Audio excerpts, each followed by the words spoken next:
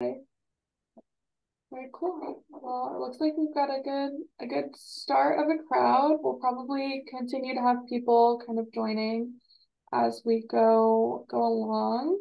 It does look like it's uh, just noon 1201 now. So in the interest of everybody's time, this is being recorded. Um, so if anybody misses a few moments in the first piece, no worries. They absolutely can go back to it. So in the interest of everybody's time, we will make sure um, that we are getting started on time. So um, I'm Rachel. I'm the health educator at the Epilepsy Foundation of Northeastern New York. Um, I'm assuming you are all on our uh, kind of listserv distribution list, so you know uh, mostly what we're doing here. But I really appreciate Dr. McCabe for joining us today. She is a neuropsychologist who's actively practicing at the um, at Albany Med these days. Um, she also is part of our professional advisory board, so we um, are very appreciative of all of the support and um, things that she provides for us uh, throughout the year, including this webinar. So today we'll be talking about ADHD and learning disabilities as comorbidities in epilepsy. Um, if everybody could remain muted throughout the presentation, that would be fantastic. You can absolutely put your cameras on um, if you feel so inclined. I see not a lot of you uh, are so inclined for that at this moment. If you wanted to pop any questions in the chat throughout the throughout the presentation, um, we will be answering them kind of on an as needed basis, but definitely we'll have time for questions at the end as well. So if you want to, you know, not forget it and pop it in the chat, we might answer it right then, or we might keep it till later, depending on uh, what the question is. So thank you all for joining us today, and I will hand it over to Dr. McCabe. Thanks for being here. And Rachel, if you can just um, like kind of, I probably won't attend to the chat. So if you can just sort of use your discretion, if there's something that makes sense to answer immediately, I'm happy to do so, um, or we can wait. Um, okay, thank you for being here. Um, and I do hope, my plan is to have some time at the end to have some question and answer and conversation. So uh, let's get started. Okay, so this is sort of going to be like the kind of arc of of my talk or conversation here today. Um, we're going to talk about some differences in the way that ADHD and epilepsy present, I'm sorry, the way that ADHD and learning disabilities present in people with epilepsy and those without epilepsy. Um, and also some differences between subgroups of epilepsy. Um, and then the implications of these comorbidities, so of ADHD and learning disability. Um, and then some suggestions for management and kind of treatment moving forward.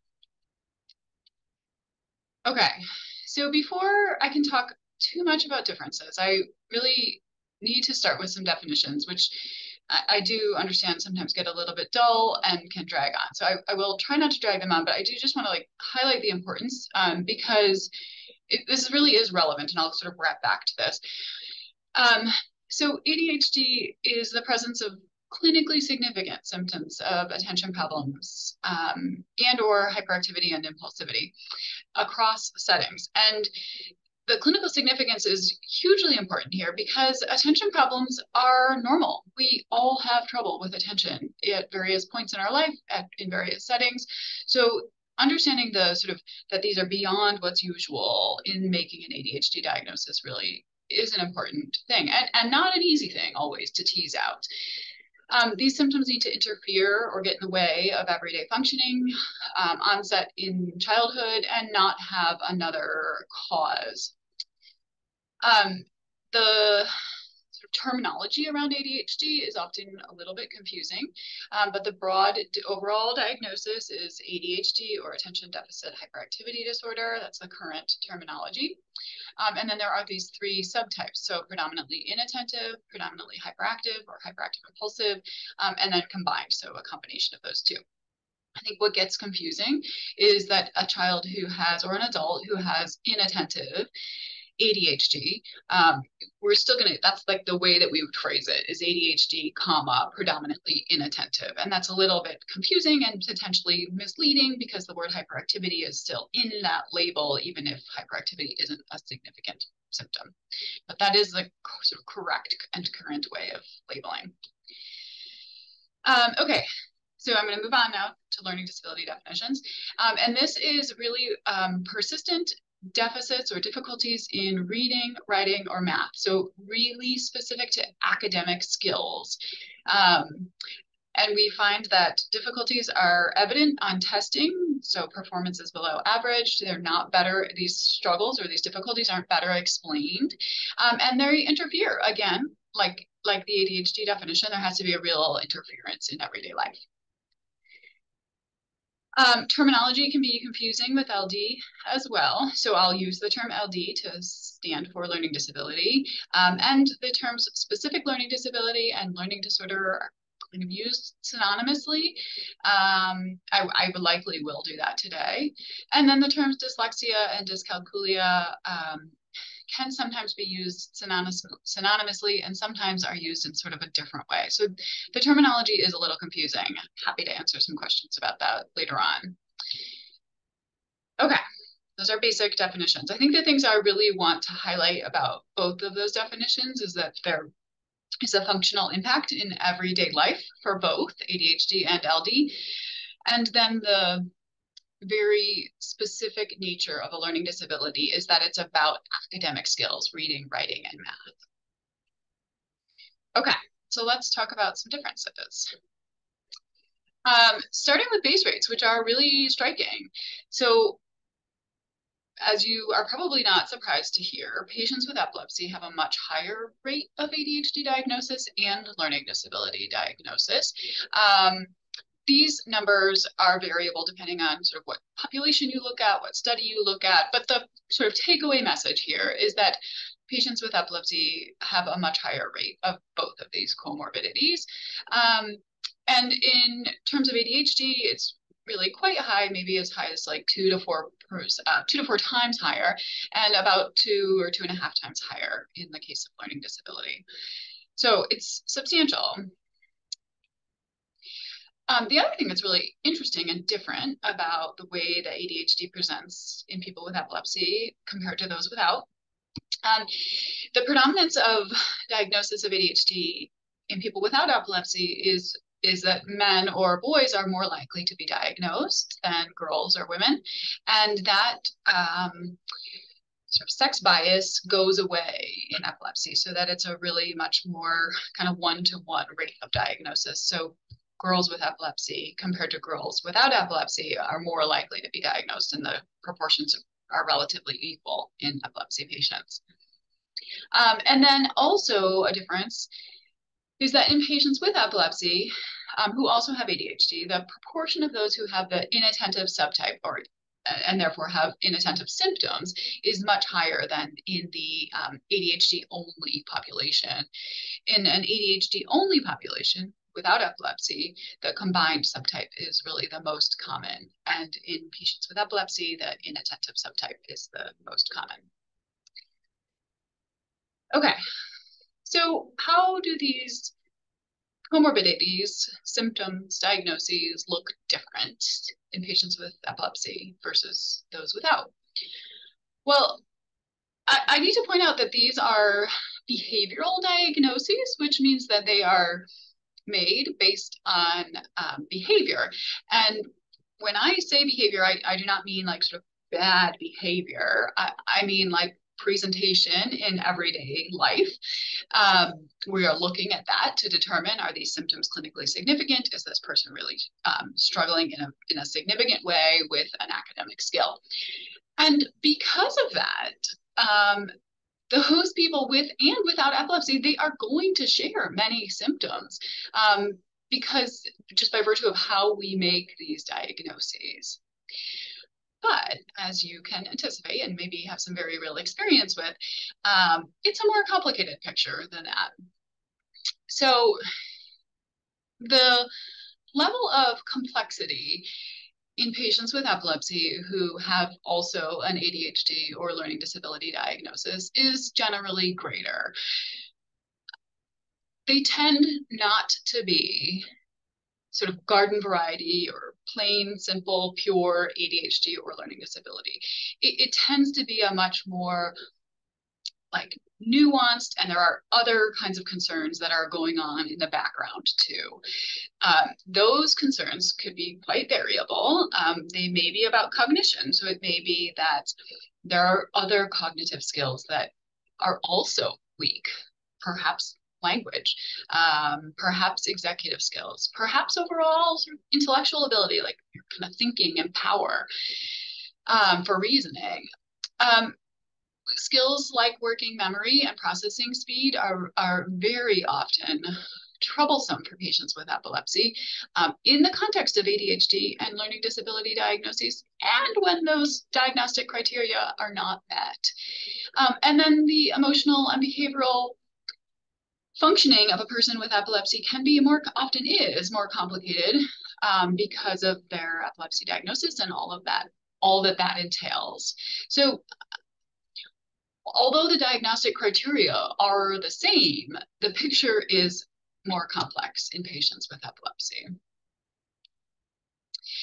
um, this is a, probably an imperfect analogy, but I think the visual piece is helpful here. So if we sort of appreciate that these um, sketched in spheres are representative of patients who have ADHD or a learning disability that do not have epilepsy. Like there's some complication in there. They're not they're not all the same, and they um, there's some variability in how these things present.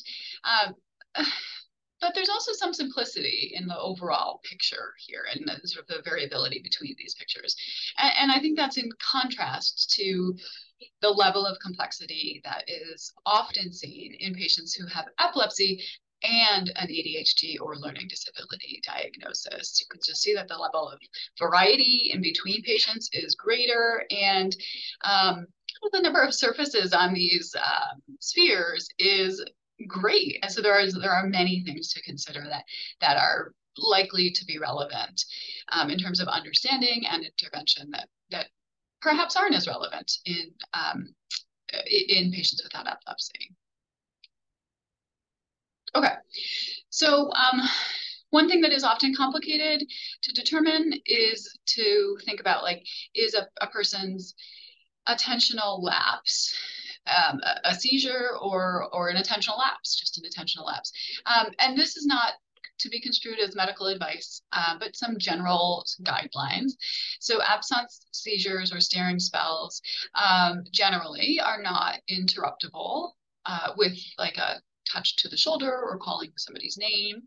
Um, and they will occur in any context, including in the midst of physical activity, and come on relatively quickly in contrast to um, an attentional lapse, which is likely to come out of sort of boredom um, or doing one task for a long period of time is unlikely to happen in the midst of physical activity. So there's there are some differences there.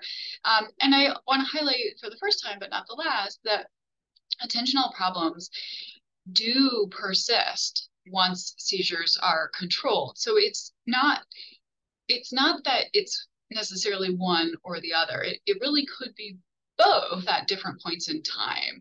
Um, and it's not that once we've sort of medically controlled absence seizures that there are no longer any attentional problems. So it really is a complicated picture to disentangle.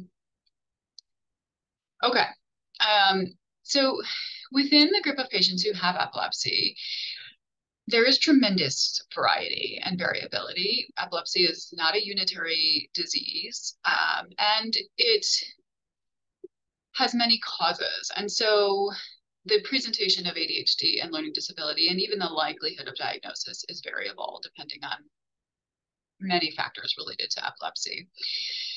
So the kinds of comorbidities that somebody might have, including ADHD and learning disability, as well as how um, impactful they are, will vary by the cause of epilepsy, the age at which seizures onset, the um, type of epilepsy, and how persistent seizures are.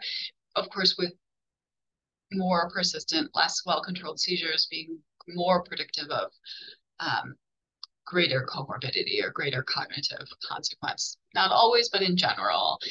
Um, some patients with epilepsy have like broader developmental or intellectual disabilities, and that increases the likelihood of also having an ADHD or a learning disability diagnosis. And then, of course, the impact of medication. Um, and the impact of medication is somewhat complex, but the sort of most, most consistent finding is that in in patients who require polytherapy, so more than one medication to treat their symptoms, uh, the likelihood of comorbid cognitive concerns, including ADHD and learning disability, is greater. Okay. Um, I'll just have everybody just kind of mute yourself unless you have a question and then jump in. So let's think through when some of these concerns onset. Um, a big old it depends here. Of course, there's so much individual variability, but we can say some things. Um, don't get too bogged down in this picture over here. I'll, I'll get to it. So in most patients, cognitive concerns predate or, or are coincident with epilepsy diagnosis. Um, and, and that is not always true, but it is often true. And cognitive concerns and seizures, sort of the reason for that is that they're understood to have the same core etiology or cause. So I have um, simplified this picture for us to kind of look through because it, it is helpful. You can see this is showing us that seizures, of epileptic activity are down here at the bottom, and comorbidities, including ADHD and learning disabilities, are both caused by neuropathology or something that has gone on in the brain. It could be a tumor, it could be um, a heterotopia or migrational concern, uh, it could be a brain injury, but the it could be something genetic. So many potential causes. But the um, idea here is that that neuropathology, which may be unknown, um, is the root core um, and and the same cause for both seizures and their comorbidities, the cognitive comorbidities. In, in this case, what we're talking about. Um, that is sort of the biggest takeaway from this picture, but it is not the only thing because you can see there's some other arrows here, three and four, that we haven't looked at. And that is that seizures or uncontrolled electrical activity can um, lead to further neuropathology um, and also lead to further comorbidity. So uncontrolled seizures are not good for the brain and can cause greater cognitive consequence.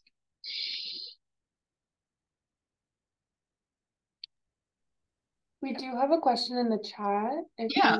You so with these studies, does the addition of anti-epileptic medications impact on attention and memory factor into the behavior as well as intellectual capacity? Yeah, it's a very complicated question to answer, but thank you for asking it. Um, I, I'm just going to briefly say that I, I, think you can probably presume why it's complicated to answer, right? Because it's hard to control for this in um, a research study. So it's we're not going to give anti-epileptic medications to folks who do not require them to determine the impact on um, cognitive function, and we are not going to withhold anti-epileptic anti-epileptic medications from people who need them. Um, actually, in large part because we know that uncontrolled seizures and electrical activity worsen cognitive outcomes. So I just want to sort of start there and say that it's a complicated question to answer.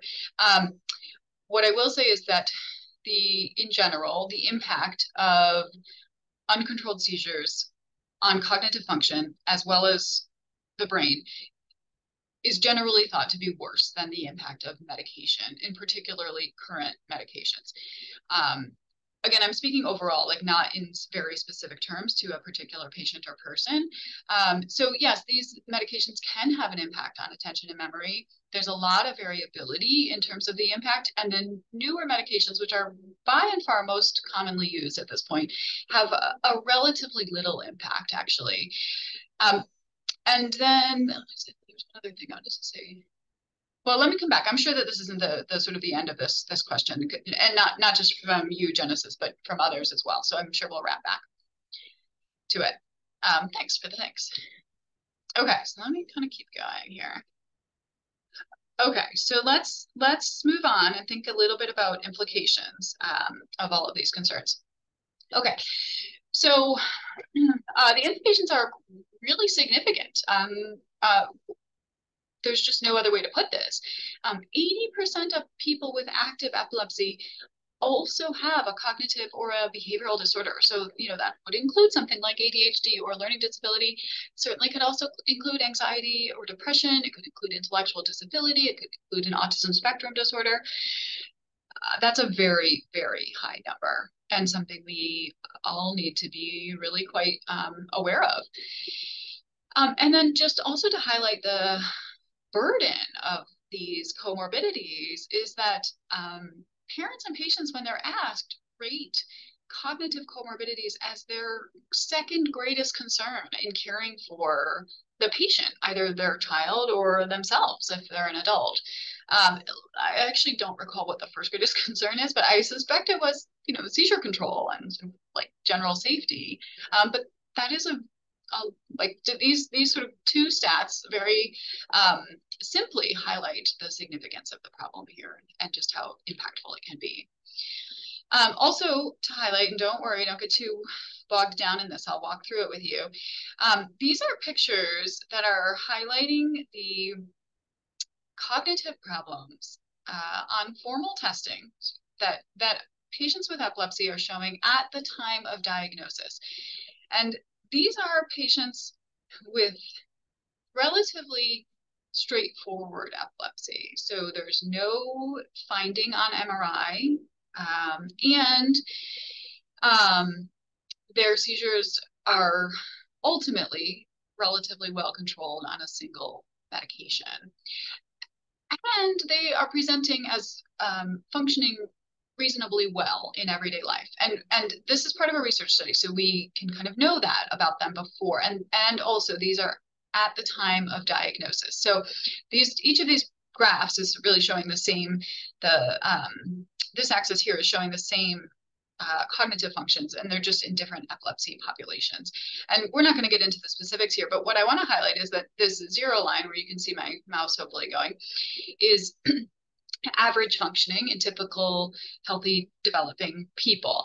And across all of these skills, which include academic skills, include vocabulary knowledge, include expressive language skills, include impulsivity, uh, motor function, the performance is at least to, to, some degree below age expectation across all of these skills in newly diagnosed, relatively non-complex patients with epilepsy. Um, Janice is kind of getting back to your initial question this actually does shed some light on the question about medication, and it, it is um, pretty fairly fairly clear, clearly telling us about the prevalence of these cognitive concerns early on, before or at the time of diagnosis, and before medication has has been uh, started. Okay, so let me just say a little bit as well about implications. Um, ADHD and learning disabilities are very likely to be underdiagnosed and therefore undertreated in patients with epilepsy. And um, I don't think we have to go sort of extend ourselves too far to appreciate the way that that can lead to misunderstanding. Um, and so, in one study where they were looking at patients um, with epilepsy, a third of patients had just a third had a neurobehavioral diagnosis, meaning any sort of diagnosis involving ADHD or learning disabilities or behavior or emotional function before they participated in the study in which they were looking at sp- symptoms specifically and then making diagnosis. So just a third. And you know, we we saw that ultimately 80% of patients end up with a diagnosis. Um, and so if if there's not an appreciation for these comorbidities um, if they are perhaps not either not uh, diagnosed or not well understood, it may be a little confusing to people. Um, so you may, for example, think, well, my child or my student or my neighbors, um, epilepsy is well controlled, perhaps, and they are still really struggling to keep up in school, to get off of the bus on time, to get their homework done on time, wh- whatever the symptom may be. Um, and I think that highlights again the importance of really considering routine the, these comorbidities that are so impactful and also so prevalent.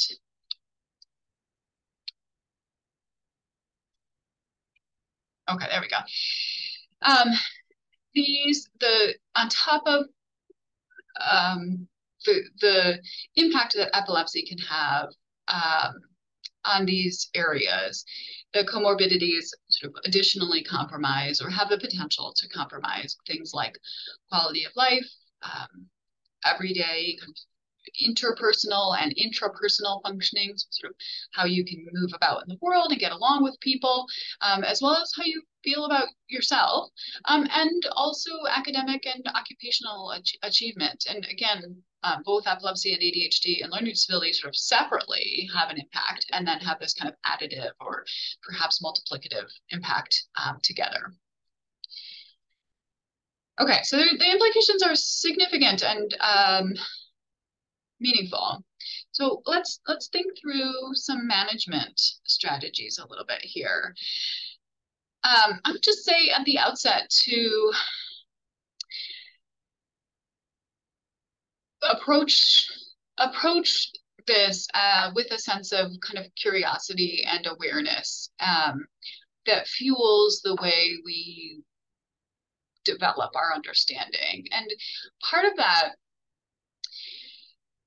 it can be gained from kind of open and humble conversations between teachers and parents, parents and teachers, really both ways, and also with medical providers. And I'll just say that I think in our busy and strained medical system, the burden for bringing up concerns related to thinking, learning, mood, anxiety, um, often falls to the patient themselves or their caregiver. Um, and so I, I, would like to just like encourage folks to bring up those kinds of concerns um, and sort of be um, empowered to have some agency in doing that, given how we now know how frequent the symptoms are and how intrusive or impactful they can be. Um, in terms of managing these comorbidities in the context of epilepsy, there's some guidelines actually about screening for them. So we know very well at this point that the rates of ADHD or learning disability, as well as other diagnoses, are high in patients with epilepsy, and therefore routine screening is um, kind of regular, like uh, should be a part of regular care.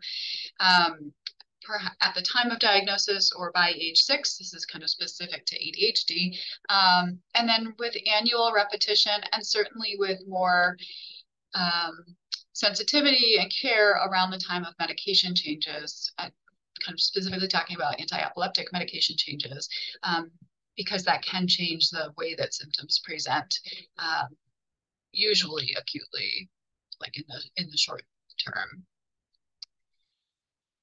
Um, the other thing I, I just can't highlight enough is the importance of a, a thorough and thoughtful evaluation, um, which which can be done through a school, can also be done through a neuropsychologist. Um, if you remember back kind of in the earlier slides, the, thinking about like the complexity of of cognitive function that patients with epilepsy often present with. So even if they have an ADHD or a learning disability diagnosis, that's often not it. It's often a little bit more complicated than that. And it's really in understanding the complexity and the nuance that um, we can develop sort of sensitive and individualized strategies for moving forward and also um, build awareness and understanding Um, so broadening our understanding, even just our knowledge of how frequent these comorbidities are.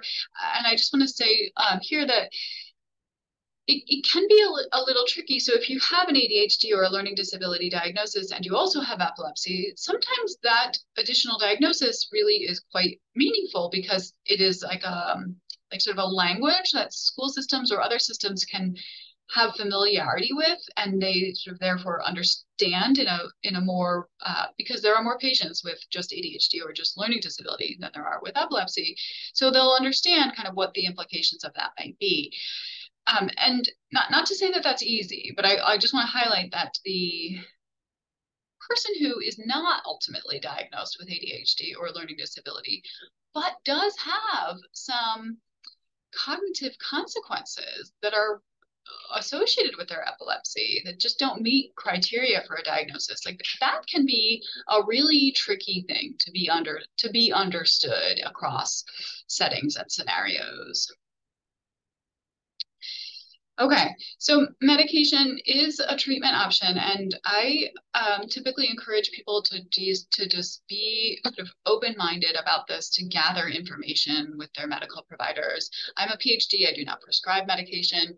Um, and so that, that the person to consult with about this is the medical provider. And that should be done um, with care and openness on, on both sides here. And also with a knowledge base that most medications used to treat ADHD are, in general, not specific, but in general, are reasonably well tolerated in patients with epilepsy. Um, but there's so much variability. And so, as with any patient, monitoring for symptoms is really critically important. And I I encourage openness to think about like sort of what are the non-medication alternatives, which we'll talk about a little here. Um, but also how impactful is are these symptoms in terms of ADHD here specifically on daily life? And does it make sense to kind of open up our minds and consider that as an option? Um, there's lots of research evidence to support the efficacy or the impact of behavioral supports in patients with ADHD. And I'll just sort of include that um, when I say behavioral supports, I really mean just like sort of ways to um, intervene that are not medication related. And that can take on many different um, methods and approaches. So parent training, workplace and classroom management, and some skills training as well. Um, we just think kind of broadly about the way that intervention can vary remember at the beginning, like I had said, that in order to have an ADHD or a learning disability diagnosis, you you have to have met these behavioral diagnostic criteria, and um, so many of the symptoms are really going to be very similar to patients who have ADHD or learning disability who don't have epilepsy, but that's not the full picture. But in the top here are some suggestions that are relevant to people with and without epilepsy. They may not be implemented in exactly the same way, but there really is some overlap here. So, it, for example, and this is not meant to be um, an exhaustive list of all of the ways of providing support. Um, but it's a it's some and so special education perhaps if there's a learning disability in reading then providing specialized instruction in targeted reading would be appropriate. Um, thinking about how the classroom is modified to help to manage attention, um, how we administer tests if the child or or um, adult is like getting older and has to take either tests through school or perhaps through um, like a state a person who's employed with the state.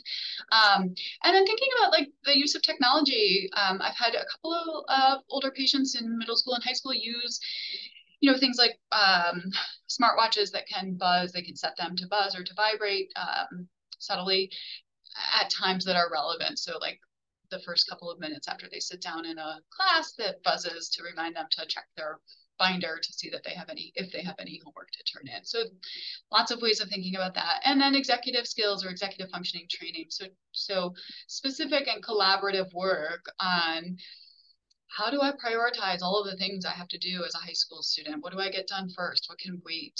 Um, and thinking about kind of how to manage organizational demands and um, planning for all of that. And then, and then I think some in patients with epilepsy specifically, there are some other factors to really kind of consider and be both be aware of and intervene on. Um, so there may be, like I had just talked about, these other cognitive concerns that do not fall in the sort of diagnostic buckets of ADHD or learning disability. Um, and may require some other kind of more refined treatments or interventions or different ways of instruction. Um, fatigue is a very significant issue in patients with epilepsy and broadly patients with neurological diagnoses. Um, and appreciating the impact that fatigue can have on a child or an adult who is working hard to keep up in everyday life and their context.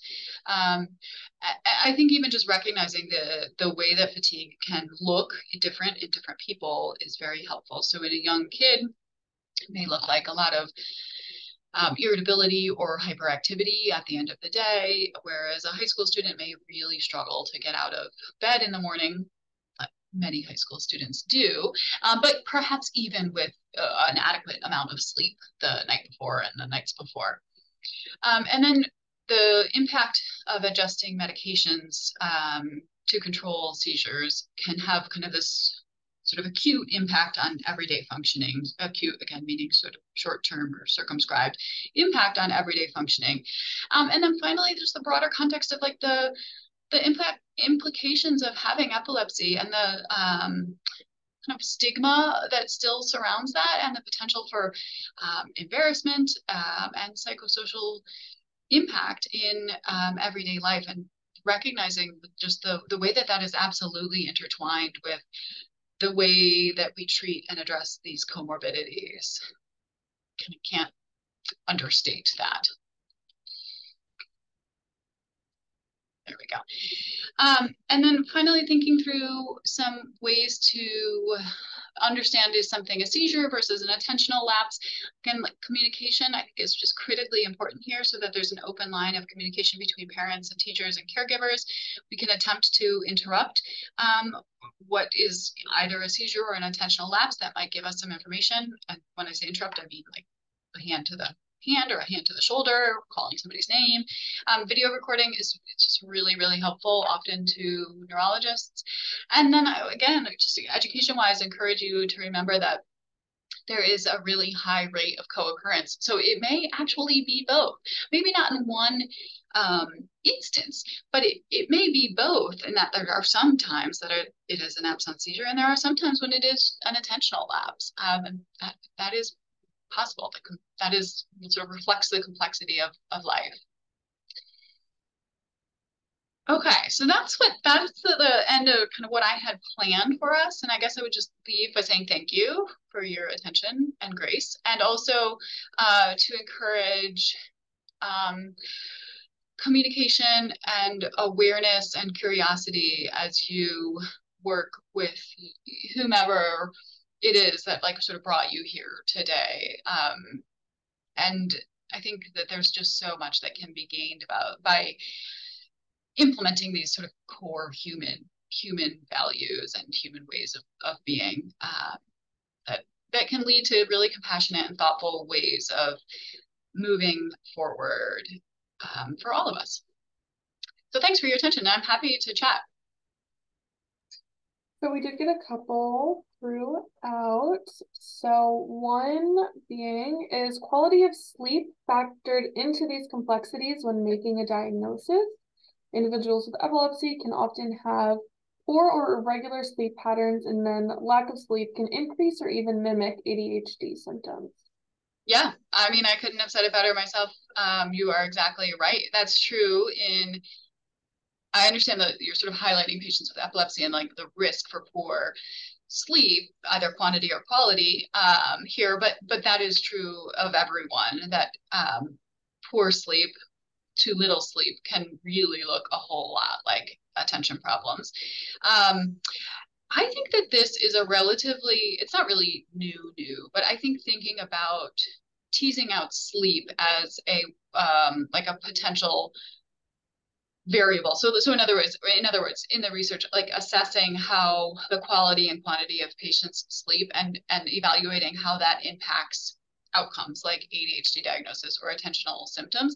I think that is a relatively new um, way of thinking about this and of and of, of trying to quantify that. I think it's a very valid and useful point, but I, I don't think there's a ton of research. And I'm happy to think about this a little bit more. Um, I, I think like what I would say, again, this is, is that the interest in sleep and its impact on cognition is longstanding. It has gained broader interest, I think, in the last like 20 years. Um, and then I think is sort of like trickling down to the very specific impact it has in various various patients, epilepsy in this case, with medical diagnoses. Um, and then I see someone with a pun. Why do we focus so much on children with ADHD and not talk about with adults with ADHD? Thank you. You're right. Um, I will tell you not not to be defensive, but in part that is because of what I do. I work with I work with almost exclusively kids. Um, but yes, kids are going to become adults eventually, and how do we live independently as a person with epilepsy and ADHD? Darlene, if you want to jump in and like, uh, I don't, I don't know, if you want to kind of clarify your question or, or like ask a secondary question, please feel free, or or speak to that's fine, um, and I'm happy to come back and, and address that. Um, and then Johanna. Sorry, I'm just reading this. Give me one sec. Oh yes, this this goes both ways. Yes, your question. So uh, I can speak very specifically to ADHD. So so rates of ADHD diagnosis in patients with epilepsy are much higher than in the general population, but rates of epilepsy diagnosis in patients with ADHD are also much higher. So I think that's kind of getting to your your question there, Johanna. Tell me if I'm not getting to it. Um, and then Alexandra, um, can an LD diagnosis occur without ADHD diagnosis? Yes, absolutely, it can occur without them. Yeah, they don't have to be one and the same. Um, a learning disability um, diagnosis. I, I, think I saw you kind of having a trouble with your internet connection, maybe in and out at the very beginning. But a learning disability diagnosis is very specific to academic skills, so reading, writing, and math. Um, and an ADHD diagnosis is really kind of very specific to attention, hyperactivity, and impulsivity. You certainly could have both, either as a person with or without epilepsy, um, but you could also have just one or and not the other. Um, so yeah, so just if you want to elaborate on your question, I'm happy to, to answer further. What else? Other questions? Can I elaborate on what I was saying? Please, thank you. Um, yeah, I I was just trying to say in like a short form. I I personally I was diagnosed as an adult. Um, I was always told, you know, that I was always like hyper and like energizer bunny um, despite having epilepsy as a kid.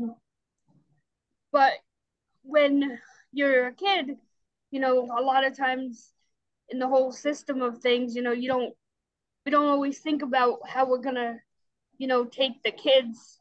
I mean, with these 529 college plans, yes, but you know, a lot of times we don't think of how we're gonna take the kids and bring them into the adult system and like here, see you later, and send them on their way. So basically tell where we're going to take the kids and you know with adhd learning disability and you know go on with your life um, i've learned through facebook groups you know there's a lot of adults that have adhd and i've learned how to you know get support that way but i mean there's you know not a lot of you know adult you know support out there except for social media that I'm aware of, you know, because basically when you're a kid, you know, you're just set out, you know, on a sailboat. See you later. Well, I think, Darlene, like the other thing that changes is that the structure of life, like, sort of can fall away from you as you enter into high school and adulthood. And there's no longer this literal like schedule kind of holding your life together um, which really demands a lot of all adults um, but in particular if that sort of hits your skill weaknesses if you're somebody who has adhd you struggle with things like staying focused and completing activities and managing time. And maybe there were some structures in place, even if they weren't formal supports that like helped you to do those things along the way. And then as an adult, you don't and you no longer have all of that. I th- I, I think that um, I think you're right. I mean, I think we don't always do a great job of ensuring that the way we support youth with ADHD empowers them to be able to do some of those things on their own in in adulthood. And then I, I think the other piece that you're maybe hitting on is just that like sort of transition of care from a more pediatric setting to a more adult setting and just how sort of challenging that can be. And that uh, on average adult providers are maybe less well versed and equipped in managing all of these and even um, understanding all of these comorbidities. Is that fair to say what, what you're also getting at?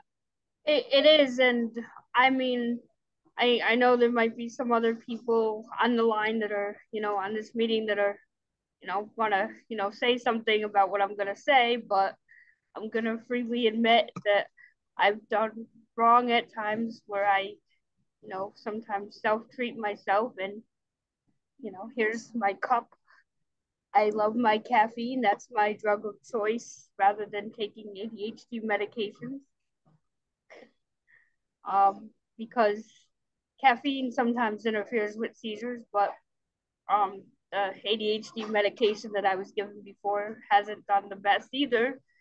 But I mean, I need something, you know, because with my seizure medicine, it also causes me some short term memory loss and you know, cognition problems too. So, you know, it's like at my house, I mean, I need everything labeled.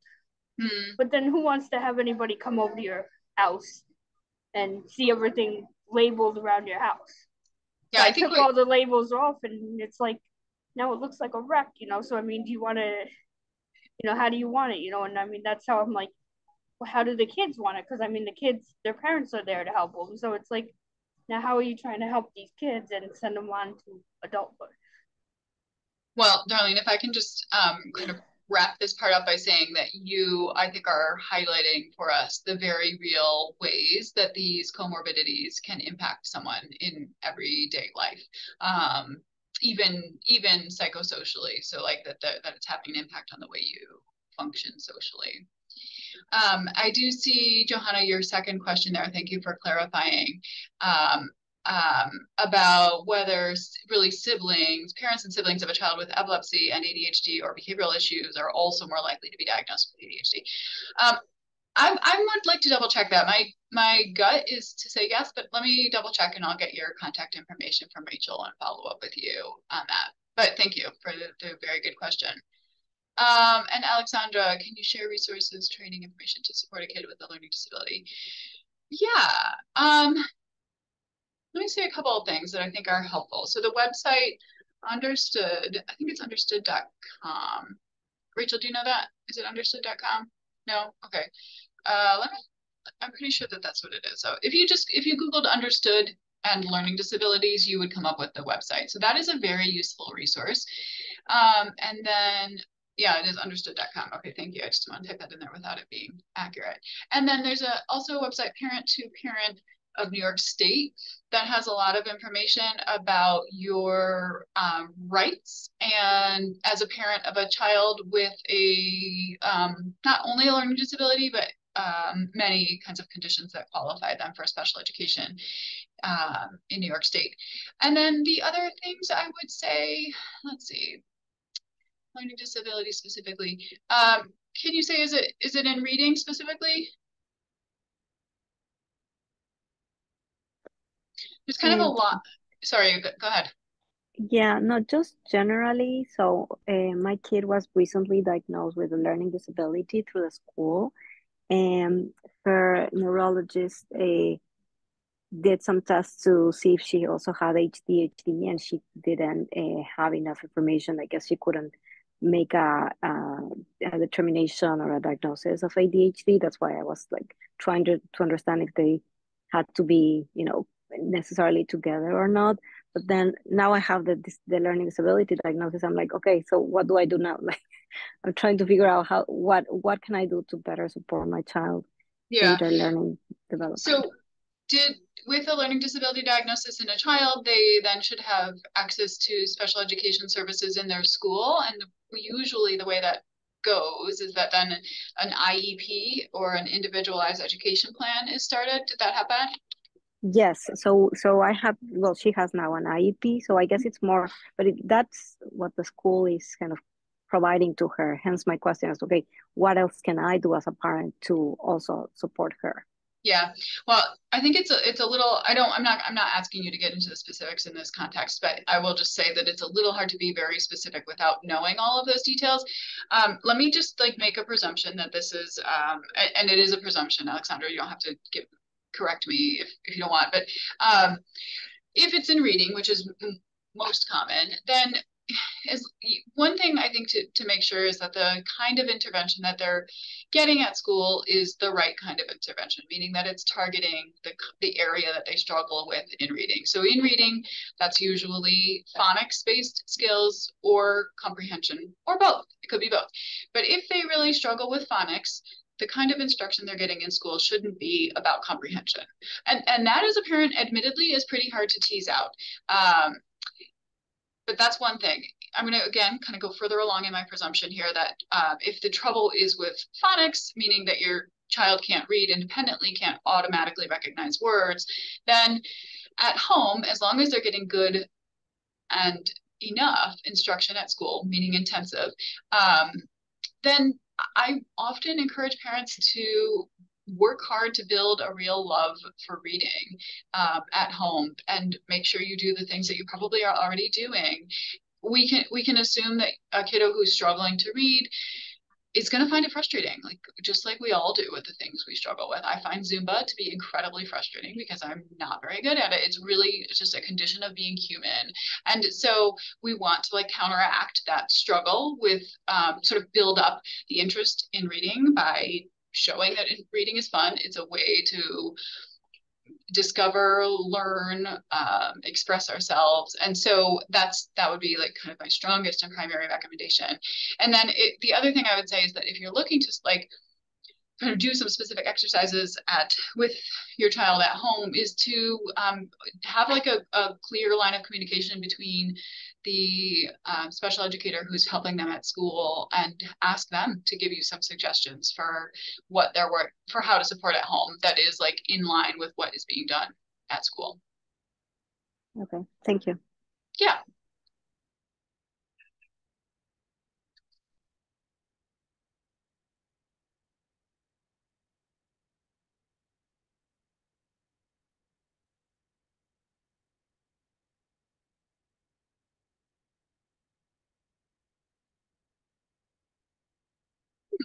That's a really good question, Johanna. Um, uh, Rachel, can I, I'm going to pump this to you as I think a little bit here, but how much of the Epilepsy Foundation training is related to this comorbidity stuff, or is it really more about um, sort of seizure safety? And, and I'm just going to think while you respond. Yeah, yeah. So um, most of our kind of teacher trainings or even the general population trainings are more recognition and first aid, so responding to it. There's really not a huge piece of that that is, you know, behavioral issues or, you know, any sort of comorbidities, unfortunately. We don't have a great kind of training on those those pieces at the moment. I feel like Johanna, what you're maybe like looking for is something because because you know there's a couple ways of getting this information out. One would be to have like have an evaluation that like very specifically describes the concerns that you or your child is having um, and then provide some suggestions. But i think so that's one route and i think a reasonable one given how high the rate of comorbidity is in patients with epilepsy. But then the other is um, is there like a kind of like a one page blurb like like a that that like very simply and generically or generally summarizes some of maybe what we've talked about here today about just how high the rates of comorbidity are. Um, that sure would be nice. I I don't have that, uh, but that does not mean that it doesn't exist, and I I like the idea of it. Um, it's an interesting idea. I think I think that um, I think in what I do, because I'm because I'm doing these long evaluations of kids with epilepsy. So I, uh, to be frank, I haven't really like sought this out. Uh, so I, I, really do appreciate the inquiry. Um, because I because I'm sort of doing the other side, like the first side of what I suggested, which is providing all these kind of very specific details about how somebody's functioning and and the impact. Um, so it is kind of specific and not general. Yeah. Okay. Well, let's let. I'm happy to be in touch with you a little bit. I I, I think this is that that question in particular is really um, relevant not just to you and your situation, but but broadly too. And I can imagine it being kind of a nice thing for many of the neurologists I work with to like have access to a little little. So I I I'm grateful for the idea and suggestion. I can't promise like the speediest speediest follow up, but I I am interested in like in putting something like that together. I think it seems useful, and maybe it's already out there. Um, you've probably searched for it, but I will do a little searching myself and think about what we can come up with. Thank you.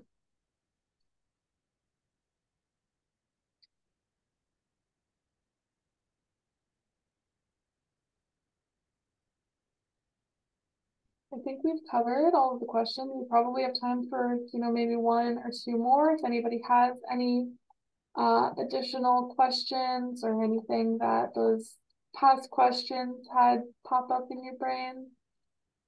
If not, then I will be sending a follow-up email with the recording of this training um, and um, contact information for anybody who's interested in it um, shortly, probably